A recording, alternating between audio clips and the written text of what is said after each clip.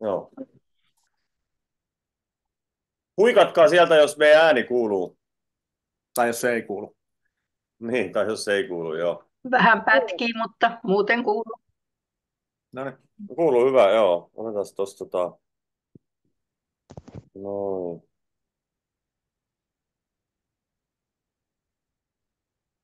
No niin. No niin, tosiaan, sori kun ollaan hiukan myöhässä.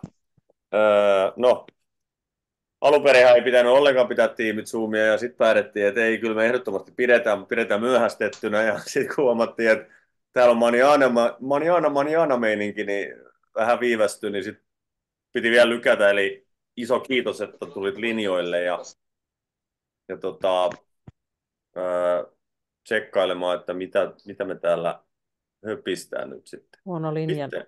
vaikuttaisi olevan siellä yhteys siis. Joo, pistäkää jotain mute päälle, jos, tota, jos ei vielä ole, kun vähän, vähän tulee tuolta ääniä taustalta, niin ei sitten häiritse. Tulli, hei! Me tultiin lauantaina tänne Mm. Lanzarottelle. Sä tulit Teneriffan kautta itse asiassa. Pikku mutkassa käynyt enemmänkin näitä Kanarian saaria tässä läpi. Niin tota, eilen oli vähän tuonne vapaa-päivä. Käytiin vähän kattos, kattos täällä noita tulivuorionkaloita. Ja tänään oli sitten eka tämmönen, missä niin sanottu kumi iskee asfalttiin. Eli meillä oli äsken tuonne neljän tunnin koulutus. Täällä on kolmena päivänä aina koulutus, kolmena vai neljänä. Todella tietysti hyvää koulutusta, koska yleisönä on oikeastaan directorit ja korkeimmat, niin se ei ole enää mitään basic leveli, vaan se on vähän niin kuin johtajapuhetta. Mutta mikäs, mitäs fiiliksi sulla on tässä nyt reissu alussa tullut? Siis, äh, missähän sitä aloittaisi? Aloita vaikka, oletko aurinkoa saanut? No joo, jo, jo, jonkin, jonkin verran, jo, jo, jonkin, jonkin verran. Ja tota, se on, mä sanoisin, että ihmisethän se on se juttu, niin kuin oikeastaan varmaan ka, ihan kaikessa, mitä me teemme. Et tänään, eilen ja tänään tota, oli tosi hyvät, hyvät keskustelut muutamien, muutamien tota, firman, firman supermenestyjien kanssa.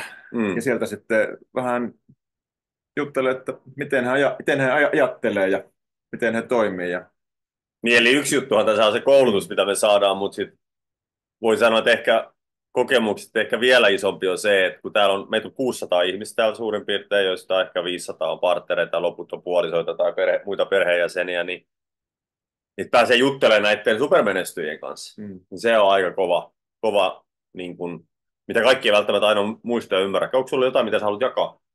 Tänään oli hirveän hyvät kahvittelut ton, ton Sven Göbelin kanssa, siis tämä kaveri, joka kaksi vuotta kun nyt on, kun Sintino osti tämän, tämän Enhance-firma, joka on siis Hansen Heidi-sarjan taustalla. Ja, ja tota, ää, Sven sanoi, että ää, käytti tämmöisiä käsitteitä kuin zoom in versus zoom out. Eli Zoomaa sisään versus zoomaa ulos. niin, ja mitä se sille tarkoitti, oli, oli se, että kun me halutaan, halutaan tästä meidän liiketoimintamahdollisuudesta kertoa mahdollisimman suurelle ja kasvavalle joukolle, joukolle ihmisiä, eli siis halutaan rakentaa tiimiä, Mm. niin mä uskon, että esimerkiksi minä henkilökohtaisesti ja varmaan moni Suomessa on mennyt vähän tänne zoom-in-osastolle, eli tosi niin kuin sanotaanko tiede ja, tiede ja tuote ja tutkimus edellä. Mm. Yksityiskohdat. Ja siis sehän on meillä ihan mieletön selkäranka tässä yhtiössä, että meillä on niin mielettömän vahva tämä tieteellinen pohja. Mm. Ilman sitä me ei oltaisi siellä, Mm. me oltaisiin, eikä me oltaisi menossa sinne, mihin ollaan menossa. Mutta kun se kysymys on siitä, että miten me se, se viesti välitetään sille, sille kuulijalle. Mm. Koska me ollaan, me ollaan, ensinnäkin me ollaan innoissamme näistä, näistä tiedeasioista vähän henkilöstä, riip, hen, henkilöstä riippuen, mutta sitten osalle on se, että se voi olla, että kun me sanotaan, että meillä on, meillä on nämä, tota, nämä tämmöiset tutkijat ja, ja, ja nämä asiat, että uskokaa nytten. Mm. Menee vähän semmoiseksi ehkä, eh, Perustelemiseksi. niin se menee perustelemiseksi ja se toinen ihminen ei välttämättä sitten kuitenkaan, se ei kolahda sille, että joo, Mm. ihan hieno juttu, mutta mitä tässä on mun, mun kanssa tekemistä Aivan. kun se zoom out on niin kuin taas se, että, että mitä me isossa kuvassa ollaan, ollaan, te, ollaan tekemässä. Et me ollaan siis äh, liiketoimintamahdollisuus, jo, jo, jollaisia meidän kenenkään elämän, el, el, elämän reitin vaarelle ei tuu monta, Mm. ainakaan tässä elämässä. Seuraavasta Mm. elämästä ei tiedetä. Niin, niin kyllä. Kun että tämän feelingin san, sanoittaminen ja tämän, tämän, tämän, tämän viestiminen siinä. Mm. Esimerkkinä Sven sanoi, että kun hän juttelee ensimmäisen kerran jonkun ihmisen kanssa, se on kuin epävirallinen keskustelu, taikka sitten ihan lyhäri, Mm. Niin hän ei mene sinne tiede, vaikka hän on siis tohtori, hän on tutkija, Mm. se on kehittänyt Hansen Heine, upeat tuotteet ja tällaiset. Niin heti kun mennään sinne, niin kuin sinne, sinne tota Clayton Robertson Emma-osastolle, hän sanoo aina, että mä paan sulle videon tästä. Mm. Sanoi, että Joo. kun, heti, kun mennään, he- heti kun mennään itse siihen, tota, siihen liian eksperttiosastolle, sanoi, että tunnelma muuttuu siinä keskustelussa. Ja se ei niin kuin, vetoa siihen toiseen, to, to, to, toiseen Mm. ihmiseen. Ja sitten hänelle saattaa tulla alitajuistakin fiilis, että okei, tässä pitää sitten olla tämmöinen ekspertti. Niin, aivan. Joo, se on se miina, mihin voi as, os, astua. Ja eri asia totta kai on sitten se, että se, se varmaan, että jos puhutaan sitten jonkun, jonkun tutkija- Niin, niin kuin mä, mun piti just mainita, että jos on niin kuin vihreä tyyppi, puhuu vihreälle. Mm. Eli tavallaan niin kuin vihreä tyyppi on tämmöinen persoonallisuusväri, joka on tosi kiinnostunut yksityiskohdista, tai itse asiassa ei pysty edes tekemään mitään partneriksi lähtemispäätöstä, jolle ei ole kaikki yksityiskohdat. Mm. Sehän on tämä vihreän, vihreän pa- partneri vähän niin kuin Miina, mutta jotkut meistä ajattelee silleen. Mutta niitä on kumminkin prosentuaalisesti vähän vähemmän, että kannattaisi keskittyä ilmeisesti Svenin mukaan siihen isoon kuvaan. Mikä on se meidän missio? Niin, tällainen, tä- tä- tällainen iso kuva, ja siitä tulee niin se, tota, se, se, se, se ähm, hyvä fiilis ja se, mikä sitten oikeasti tuo, se, tuo, se, tuo sen kasvun. Toi on muuten hyvä pointti, sä sanoit, että hyvä fiilis tulee Mm. silloin, kun puhutaan näistä isoista asioista. Mm. Joo, toi, toi, on muuten toi on hyvin sanottu. Itse asiassa meillä on täällä yksi kollega, rakas kollega, joka on myös täällä. Antsaroittele Heli, sä vilkuttelet siellä, en tiedä missä sä oot, onko sä omassa huoneessa vai, vai missä sä oot? Joo, mä sain, mä sain, mä sain Mimosa just nukkua ja kohta illallinen, niin mä No niin, ajattelin, että mä osallistun myöskin, kun kävi tuuri. Joo, siis Sulla vähän, eli su- Mulla oli ihan mielettömän hyvä keskustelu aamupalapöydässä. Mitä? Joo, niin, anna mennä. Jatka vaan, nyt, nyt, nyt, kuuluu paremmin. Kuuletteko nyt mua? Mm. Anna tulla. Joo, kuule. No niin, hyvä. Niin, niin, niin mulla oli siis ihan loistava keskustelu Stoolin Antin kanssa ihan samasta asiasta. Me molemmat todettiin, että nyt keskitytään tänä vuonna monistukseen ja siihen, että asiat pitää pitää Pätkii Ja taas Stoli onkin Antti sanoi hyvin, että kun hänellä välillä on lääkäreiden kanssa vaikka lyhkäreitä, niin hän jopa saattaa soittaa, tai on saattanut siis soittanutkin yhdelle partnerille, joka on lääkäri, että hei sori, mä vahingossa menin sinne polyfenoliosastolle. Puhuin, niin Meidän otan kanssa takaisin, että pidetään simppelinä. En tiedä, No niin. kuuleeko kukaan yhtään mitään. Ainakin se, mikä kuuluu äsken, että pidetään simppelinä. Se, se kuuluu tänne. Joo. Joo, en mä tiedä, onko se täällä Joo. päässä vai sun päässä se, tämä Yes. netti vähän heikompi, En mutta toivottavasti enää. tallenteessa sitten. Kuulu. Tallenteessa kuuluu paremmin. Joo. Mitä muuta? voisin tuosta Svenistä lisätä esimerkiksi sen, että, Okei, että miten. McDonald's tekee. Niillä ei varmuudella ole maailman parhaat hampurilaisia, varmaan siis kenenkään mielestä, ei edes Mäkkärin itsensä mm. mielestä. Ja, mutta ennen kuin ruvetaan puhumaan hampurilaisesta, pitäisi olla ravintoloita, eikö niin? Mm. Eli me tarvitaan, tarvitaan se, se jengi ennen kuin, ennen kuin me mennään sinne, me, mennään, mennään sinne niin kuin piiloudutaan sen tuot, tuotteen, tuotteen taakse, taakse liian, li, liian syvälle. Mm.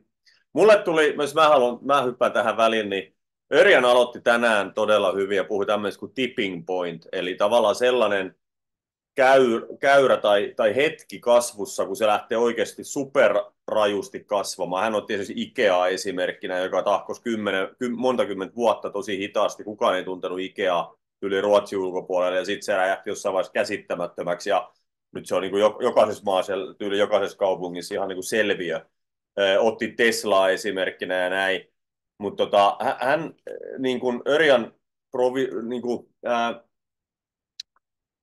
projektoi, vai miten sitä voi sanoa, niin Cincinoo tästä kuuden vuoden päähän, mitä tulee tapahtua suoramyyntialalla, eli 23 vuonna suoramyyntialan koko oli 240 miljardia jenkkitaalaa, eli paljonko kaikki suoramyyntiliittoihin kuuluvat firmat yhteensä myy tuotteita. Ja nyt on povattu, että 2030 vuonna, kuuden vuoden päästä, niin tämä on 320 miljardia Yhdysvaltojen dollaria, eli 80 miljardia lisää, eli toi on niin kuin tyyliin 30 prosentin kasvu, mikä on huima kasvu kuudes vuodessa, mille tahansa toimialalle. Ja, ja Zinsin on tavoite ottaa tästä 1-2, tai heidän tavoite, Zinsin on tavoite, että, että heidän liikevaihto tai meidän liikevaihto on silloin 1-2 miljardia jenkkitaalaa. Eli kaksi on parempi, yksikin on ok. Ja tota, jos me ajatellaan, että viime vuoden myynti oli 170 miljoonaa, niin se tarkoittaa sitä, että firma tulisi vähintään joku kuusin, kuusinkertaistumaan ää, siihen mennessä. Nämä on ihan käsittämättömiä. Mä, mä tykkään tämmöisistä. Mulle, mulle sitten taas ne zoom out jutut, ne, ne isokuva, niin ne on, ne on näitä. Ehkä kaikille se ei toimi, mutta tota, mut, mut, mut siinä vaiheessa me ollaan rakennettu historiaa. Ja itse asiassa tähän liittyen, niin Hakan äh, Dalcik, joka on tämä äh, Turkin superkova vetäjä, yli 30 vuotta kokemusta suoramyyntialalla, niin sehän oli, oli sulle sanonut eilen, että, että Cincino tulee olemaan... Kerro, mitä se sanoi? Sä, sä niin, sen. niin, juteltiin Hakanin kanssa siinä ja on aivan supermukava kaveri, jos ikinä näette missään eventillä, niin menkää juttelemaan. Ää, että nyt seuraavat viisi vuotta tulee olemaan tosi, tosi merkityksellisiä. Että Cincinnatus tulee yksi maailman suurimmista yhtiöistä tä- tällä alueella, ja ehkä nyt seuraavassa viidessä vuodessa, mutta sano, pointti oli se, että nyt tapahtuu niin paljon, että meillä, että nyt ei ole vaan varaa olla hitaita. Niin, don't, don't play small now. Niin, että, että silloin, silloin viiden, viiden, viiden vuoden päästä viiden, viiden, vuoden, viiden vuoden päästä nyt on niin, niin paljon meille kaikille tarjolla, mm. että meillä ei ole vain ihan oman, oman ja meidän perheen ja läheisten elämän takia, meillä ei ole varaa jättää tätä hommaa käyttämään. Mm. Yhtiössä on kaikki asiat kunnossa. Mm, kyllä. Mu- muista firmoista, kun siinä kaatuu tuppervareja ja ja näitä partilaitteja, niin sitten nämä ihmiset, ja sitten myös sellaista firmaa, jotka jatkaa toimintaansa, niin etsitään, etsitään u- uutta kotia. Eikä, eikä ainoastaan nyt puhuta vanhoista verkostoijista. Nimenomaan. Sven, Sven Göbel sanoi tänään, että, että hän on kiinnostunut sellaisista, jotka on ollut oikeasti niin kuin, näyttänyt leadershipia jossain, jos, jossain firmassa, mutta sitten myös ihan niin kuin ulkopuolella tulijoista ihmistä, joilla on vain hyvä asenne ja hyvä arvomaailma. Kyllä, just näin.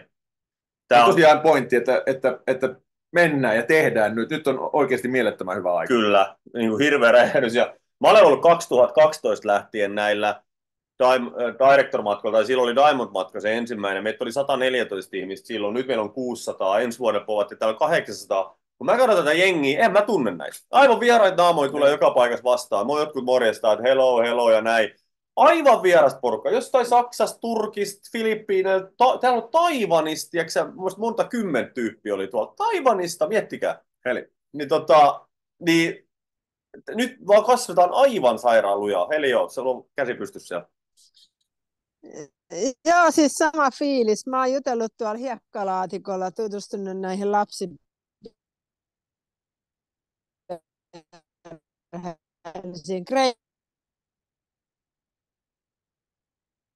Miten me ei kuulla Heli? Kymmenessä kuukaudessa. Eikö me kuuluta sut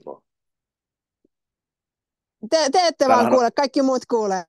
No hyvä, jos kaikki muut kuulee. joo, ei, meillä, on, ei meillä niin väliä. Sitten se, ei, ei, sit se netti on meidän päässä, tota, meidän päässä huono. Ei, ei mitään. Mutta halusin kertoa siis, että täällä todella kohtaa niin kuin ympäri maailmaa porukkaa ja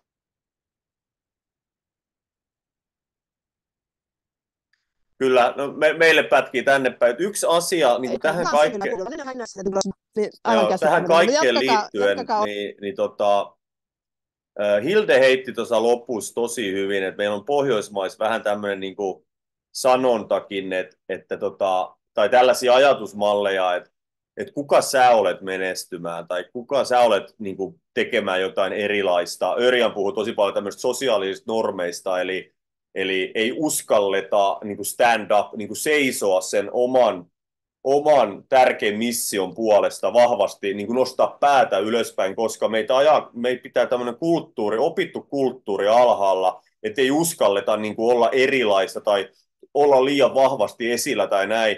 Ja Hilde sanoi hyvin, että niin kuin, no mä, mä Hilde sanoi näin, että mun mielestä on täyttä bullshittia.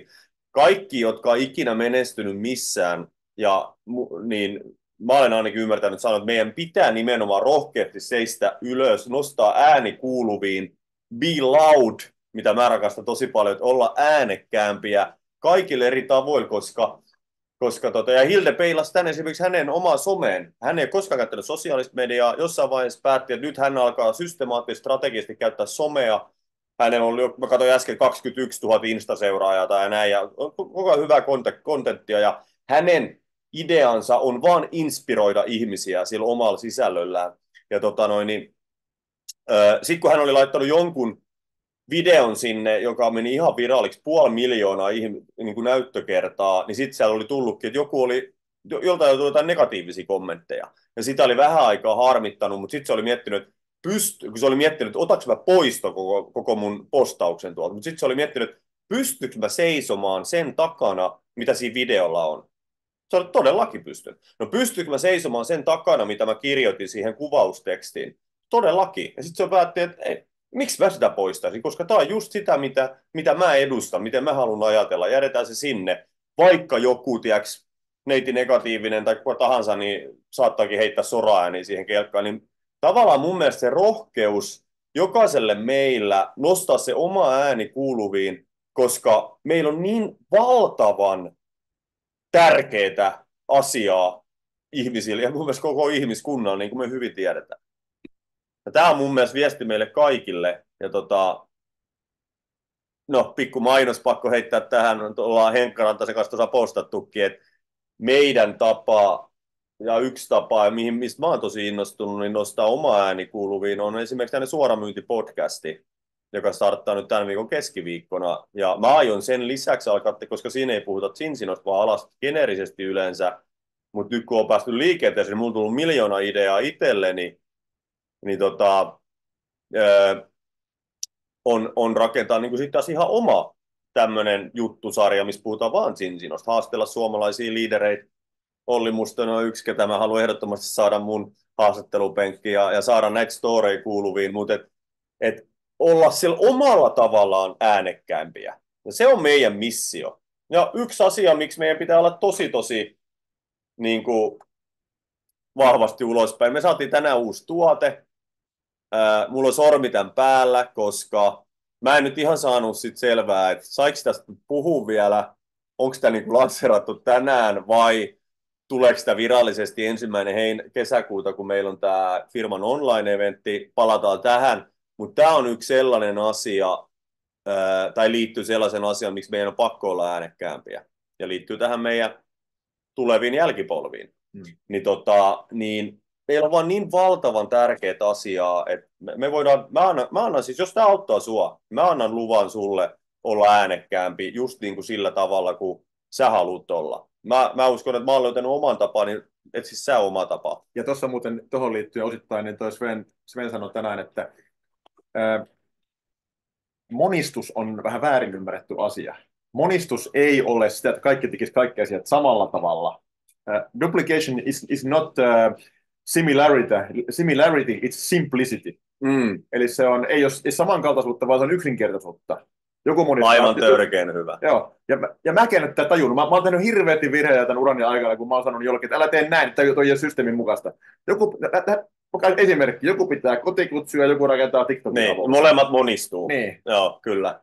Ja siis, että, että Erittäin hyvin mikä se onkaan, on se sitten podcasti tai kotikutsu tai TikTokki tai mikä hyvänsä, niin kunhan se on yksinkertaisesti ja hauskaa. Se oli se pointti. Just näin. Yksinkertaisesti ja hauskaa. Mm.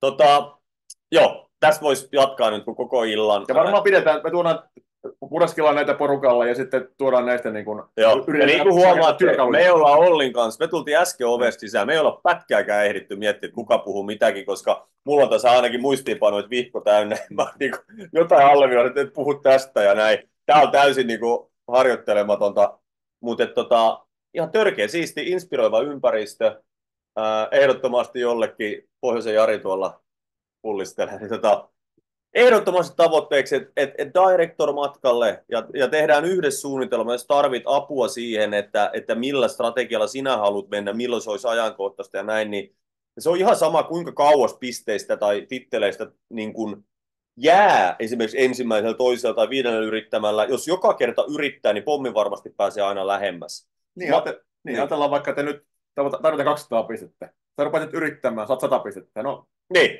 Mutta, mutta siis mitä kaikkea 100 pistettä on tuonut? Aika monta asiakasta, aika Kyllä. monta partneria. Seuraavana vuonna yritetään kovemmin. No päästään vaikka 170 pistettä, heitä, heitä jotain. Kyllä. Vähän harmittaa, kun jäi pitkästä, mutta seuraavana vuonna sä sitten oot siellä. Joo. Ja ihan hirveästi hyviä asioita tapahtuu. Nimenomaan. Ja Hilde on sanonut aina mulle vuosikaudet, ja varmaan monelle teillekin, että jokaisen kampanjan kannattaa ottaa täysillä osaa, koska vaikka sä jäisit miten kauas siitä sun tavoitteesta, sä oot yrittänyt enemmän, sä oot tehnyt enemmän ja sä oot saavuttanut enemmän, jolloin sun seuraava kuukausi tai seuraava mikä tahansa periodi lähtee pommin varmasti paremmalta tasolta kuin että sä et olisi ottanut osa siihen ollenkaan. Ja, ja tämä on tosi tärkeää. Nyt jos me ajatellaan kampanjoita, meillä on upeat kampanjat, meillä on 200 prosenttinen ECP-kamppis tänä, tässä kuussa. Me pystytään kaikille tekemään se vanhoille ja uusille. Osa on tehnyt se jo helmikuussa, nyt kannattaa käyttää sitä oikeasti hyödyksi, eli paljon uutta volyymia. Mennään äänekkääksi, kerrotaan ihmisille, odotetaan uudelleen kuuntelemaan. Huomenna on liiketoimintaesittely kello 18, törkeän upea kokoopano. Katja, Henk, eh, Katja, Petri ja Toni pitää huolta koko meidän jengistä. Tulee helkkari siisti juttu sinne kannattaa ottaa porukkaa. Meillä on Fast Start-kampanja, eli 2500 euroa Fast Start-bonukset. Sven muuten sanoi tänään hyvin, että he oli tehnyt kalkulointeja, että oliko se 3950 voit ansaita, kun sä teette yhdellä viikolla. Hmm. Yhdellä viikolla. Yhden viikon. Haluatko lähteä tekemään neljä tonnia viikossa? Se oli he, miten he tekee Sveitsistä jossain päin omaa tiimiään. Tota noin, niin jos joku on kiinnostunut oikeasti isosta rahasta nopeasti, että tee se matikka, tiedätkö, jos sä vedät noin alkuponarit viikkoon täällä uudella kampanjalla, niin ei se ole mikä kaksi ja puoli tonnia, se on paljon enemmän. Ja tuva, niin. niin. Ja sitten kolmas kampanja on tämä Göteborgin äh, incentive äh, reissu, eli, eli firman toimistolle sitten. Tota, mulle ei ole nyt päivitettyjä noita, noita lukuja siitä, mutta pannaan ne viimeistään ensi viikolla. Sit. Mutta tosi hyvät kampanjat, me saadaan hyvää raivia näistä. Meidän pitää vaan innostaa itsemme ja innostaa tiimi näistä, niin me saadaan maksimi äh, hyöty nyt maaliskuulle näistä. Ja tota, varmaan loppu ehkä voisi sanoa semmoisen asian, että mehän ollaan täällä nyt, me ei olla täällä vaan ottamassa aurinkoa ja semmoista, se, ei, nyt, se, ei ole se pointti, vaan se, että me ollaan täällä palvelemassa Team Cincinnati Finlandia. Että mi, mikä sua pitää paikalla, minkä asian sä haluaisit kuulla keneltä? Onko sulla joku suosikkipartneri jostain maasta X, jota sä seuraat, että toi on, toi on, toi on, niin kuin, toi, toi on mahtava tyyppi. Anna meille, että hei, käykää jututtamassa sitä ja kysykää sieltä nämä asiat. Niin, se voi, joo, ja niin. se voi olla firman tyyppi, siis firman palkkalisto on joku johdon tyyppi, tai sitten se voi olla kuka tahansa partneri tuolla kentältä, jos tunnet jonkun tai sulla on jäänyt mieleen jostain videolta tai Zoomista jostain, niin täällä on nämä kaikki messis nyt, ja me ollaan täällä lauantaihin saakka, niin meillä on nyt viisi päivää aikaa, tiiäks, käydä haastattelemassa ketä tahansa, jos sun tulee mieleen. Mun, mun on tavoite, että mä haluan nähdä tiet, mahdollisimman paljon ihmisiä, mulla on tiedot ihmiset listassa, kenen kanssa mä haluan ehdottomasti istua alas ja tänään oli Patrick Nilsson ja Sofie Tajonlahti äh, Ruotsista. Superhyvä pariskunta, niistä terveisiä sitten myöhemmin, mitä he kertoo. Ja tota, mut ne on muuten tulos isos, isosti vallottamaan Suomea. Ja tota, niin sanoin, että tervetuloa tänne, vaan mä saan tuommoisesta tulen, tulen oma, oma hännä alle, tiiäks, että ruotsalaiset tulee tänne, ja hei, joku sen tulee, se voi olla, että taiva, taivanilaiset tulee joku päivä, tiiäks, että oh, täällä onkin Suomi, näin me tälle kuka tehnyt juuri mitään, että me tullaankin tänne ja marssitaan tästä ja odotetaan kaikki. Tämä tapahtuu hei, mutta mun mielestä Suomi suomalaisille tietyllä tapaa, että, että no, ei, nyt ei puhuta mistään poliitikoista tämmöisistä, vaan tämä business nimenomaan. Meidän pitää olla ylpeät siitä, että me autetaan omaa ympäristöämme, eikä joku muu, koska ne on meidän läheisiä kaikki ja, ja näin. Ja se, on, se on meidän missio ketä et halua nähdä, nähdä äh, Patrick ja Sofian Teams. Niin, tai jonkun taivanilaisen, tiedätkö niin. niin tota, joo. Mutta niin, en mä tiedä, ketä jälleen kerran tämä inspiroi, mutta mä saan tällaisesta intoa itselleen, että hitto, nyt, nyt oikeasti tehdään. Mutta joo, hyvät kampanjat. Meillä on loistava viikko edes. Maaliskuun lähestyy puolta väliä. Jos tuntuu, että on lähtenyt hitaasti liikenteeseen, niin älä, älä, älä valita päätä vaan, tai välitä päätä vaan, että pistetään kaasua enemmän. Ja ei tämä mistään muusta kiinni kuin siitä, että muodotaan yhteyttä ihmisiin hyvällä asenteella, kutsutaan niitä tapaamisiin suoraselkäisesti ja tota, kerrotaan, mistä on kysymys, viedään putkes eteenpäin, opitaan promottaa aina seuraavaa tapaamista tai sitä omaa apuria niin, että me saadaan ihmiset tulemaan ja se systeemi alkaa tekemään työtä puolestaan. Niin kuin huomenna tapahtuu liikkarissa. Ihan pommin varmasti. Olli, onko se wrap up? Wrap up. Joo. Lyhy- ja, ja, ja ihan loppuun vielä. Joo. Lyhyt, loppuun vielä viisi asiaa. no niin. Viisi asiaa. Lyhyitä tapaamisia. Sovi, so, so, so, so. moni liideri on sanonut, että puolen tunnin tapaamista. That's it. Joo, keep, joo, keep ei kannata. simple. Niin, kyllä. Miten Sveni sanoo? Ei, not about... Älä, älä zoomaa sisään, zoomaa ulos. Ei, kun se tarkoittaa sitä monistusjuttua. Niin, not... Uh, no mikä se oli? Duplication is not... Kohtaa paljon paremmalta englanniksi. Duplication is not similarity, it's simplicity. Simplicity, kyllä. Ei ole samalla, monistus ei ole samankaltaisuutta, vaan se on yksinkertaisuutta. Mm. Hei, hyvä juttu. Tota, me lähdetään nyt syömään sushia tässä ja tota, viettämään hyvää iltaa hyvässä seurassa. Mä toivotan loistavaa maanantai-iltaa kaikille. Kiitos kun tulit linjoille, vaikka tämä oli tämmöistä sähläysten ajan kanssa, mutta joustavuus on meidän toinen nimi. Ei muuta kuin mahtava viikko kaikille. Moi moi. Morjes.